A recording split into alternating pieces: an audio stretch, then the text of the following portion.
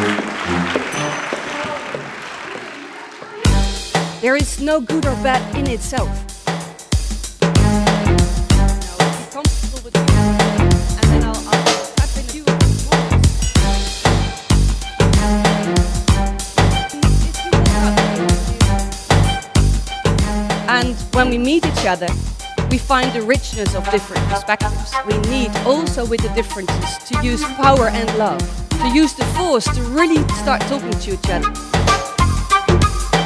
Well, the thing is that all the problems in nowadays organizations, they've been around for a long time.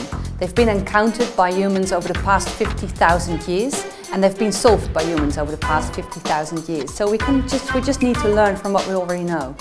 We have different thoughts but we don't express them. If we don't stop listening to each other, we start gossiping. And we usually gossip with the people who have the same ideas. As an anthropologist, I travel around the world to learn from different tribes and cultures.